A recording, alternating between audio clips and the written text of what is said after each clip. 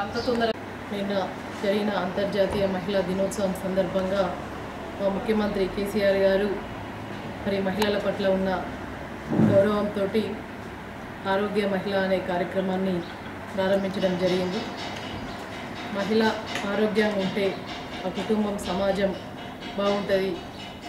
స్త్రీ బాగుంటేనే ఈ జాతి పురోగమిస్తుందని చెప్పేసి నమ్మే వారిలో మా ముఖ్యమంత్రి గారు కల్వకుంట్ల చంద్రశేఖరరావు గారు మహిళలకు ఇచ్చిన కానుకగా నిన్న మహిళా దినోత్సవం సందర్భంగా చెప్పుకోవచ్చు.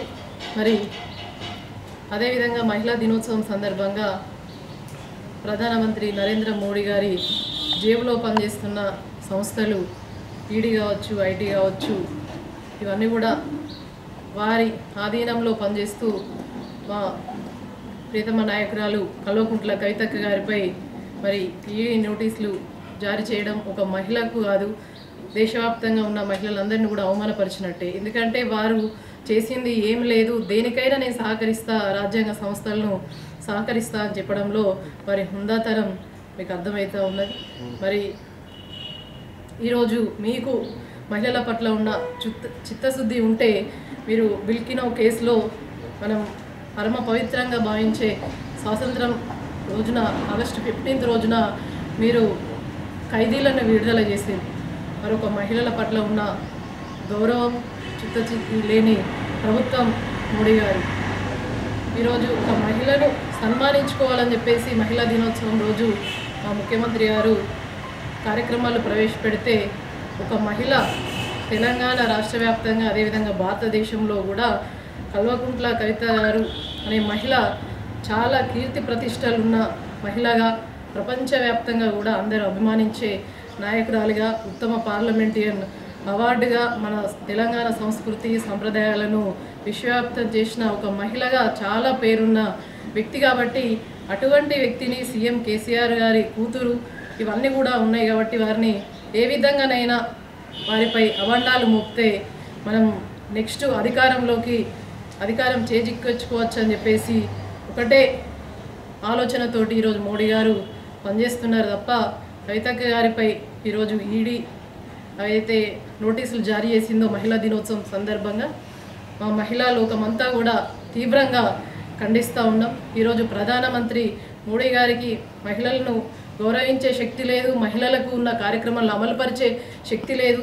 మీకు కావాలంటే తెలంగాణ రాష్ట్రానికి వచ్చి మా మహిళలకు ఏం చేస్తున్నారో కేసీఆర్ గారు ఒకసారి వచ్చి నేర్చుకొని వెళ్ళండి. ఈరోజు ప్రధానమంత్రి గారికి ఏముంటుందంటే ఒక వాళ్ళ మిత్రుడైన ఆదాని అంబాన్ని అభివృద్ధి చేయాలి తప్ప సామాన్య ప్రజల సొమ్మును దోపిడీ చేసి వాళ్ళు అభివృద్ధి చేయాలనే వాళ్ళని అభివృద్ధి చేయాలనే ఒకటే ఆలోచన ఉంది తప్ప మరి దేశంలో ఉన్న ప్రజాస్వామ్య వ్యవస్థను కూని చేయాలి సామాన్య ప్రజల ఆస్తిని దోపిడీ చేయాలని చెప్పేసి ఆలోచిస్తున్నారు తప్ప వారు మరి మహిళలకు సామాన్య ప్రజలకు ఏం చేస్తున్నాం అన్నది ఏం లేదు. ఈరోజు చేసింది ఏం లేదు కాబట్టి ఈ ఎనిమిది తొమ్మిది సంవత్సరాలలో మరి చేసింది ఏమి లేదు కాబట్టి మా కేసీఆర్ గారు ప్రశ్నిస్తూ ఉన్నారు.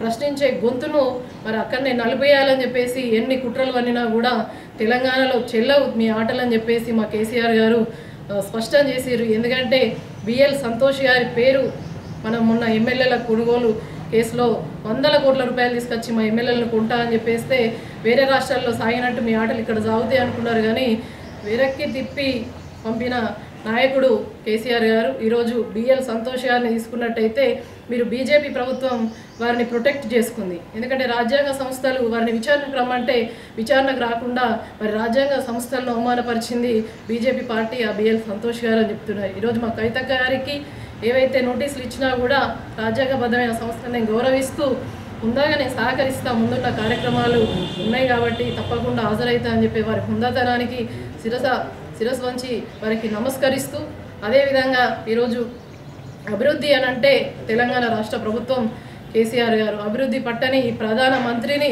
అడుగుతా ఉన్నాం మేము.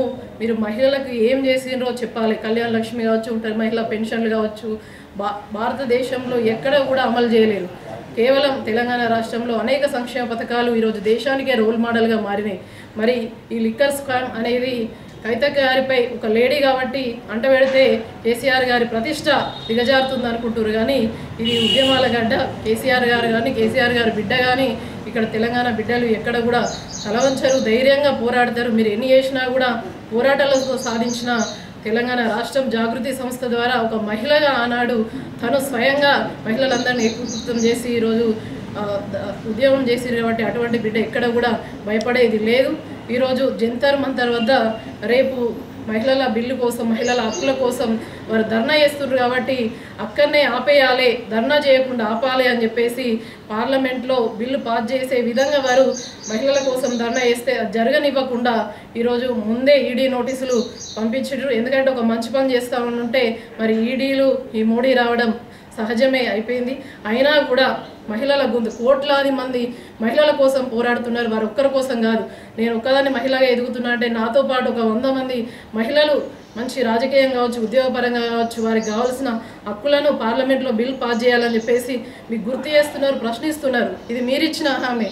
టూ థౌజండ్ ఫోర్టీన్లో కావచ్చు టూ థౌజండ్ నైన్టీన్లో మీరు పెట్టిన మేనిఫెస్టోలో మహిళలకు ఫిఫ్టీ పర్సెంట్ రిజర్వేషన్ ఇస్తా అన్నారు. అది అమలు చేయలేరు కాబట్టి మీకు మహిళలపై చిత్తశుద్ధి ఉంటే తొందరలోనే పార్లమెంట్లో బిల్ పాస్ చేయాలని చెప్పేసి తెలియజేస్తా ఉన్నాం. ఈరోజు నిజంగా కూడా ఎక్కడ అత్యధికంగా కల్తీ కళ్ళు మాఫియా జరుగుతుందనంటే అది గుజరాత్ రాష్ట్రంలో మోడీ ప్రాతినిధ్యం వహిస్తున్నటువంటి రాష్ట్రంలోనే అని చెప్పుకోవచ్చు. చాలా వేల మంది కల్తీ కళ్ళు దాయి చనిపోతున్నారు అని అంటే మాఫియా జరుగుతుంది అని అంటే అది గుజరాత్ రాష్ట్రంలోనే ముందు కళ్ళు తెరిచి నిధిను సక్కా చేసుకో ఒక ఆడబిడ్డపై అభాండాలు మోపడం సరికాదని చెప్పేసి ఇది తగదని చెప్పేసి తెలియజేస్తూ ఉన్నాం మా మహిళా శక్తి ఒకటే ఇటువంటి అభాండాలు వేసినా కూడా తట్టుకొని మీకు సహకరిస్తాం.